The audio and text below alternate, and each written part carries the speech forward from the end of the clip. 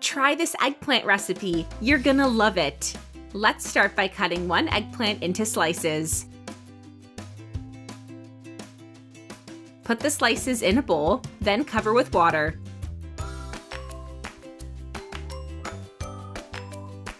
Add 1 teaspoon of salt and mix well.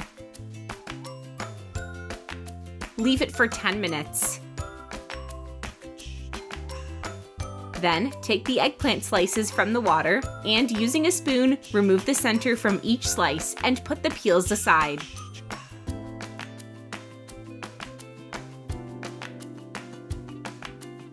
Cut the eggplant center into very small dices.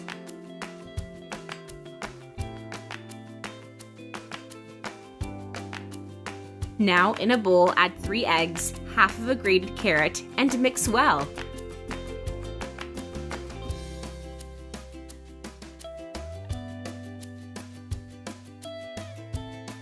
Then add some peas, the diced eggplants, black pepper to taste, salt to taste, fine herbs to taste, and finally 3 tablespoons of oats.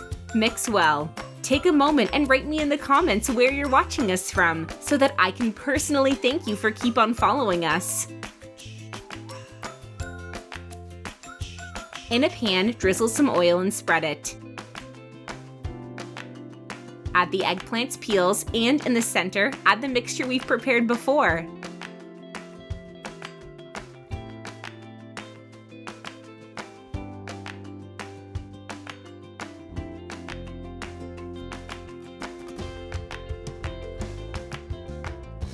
When you're done, cover with a lid and leave it to cook for 5 minutes on medium heat.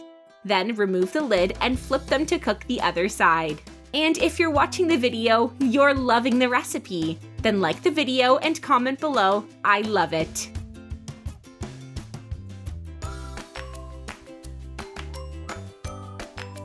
After turning all the eggplants over, add grated mozzarella cheese on top of each.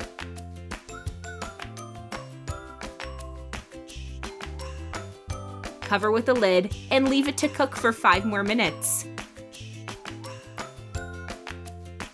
And our recipe is done, ready to be enjoyed. I really hope you liked it. Thank you for watching. See you in the next one. Bye-bye.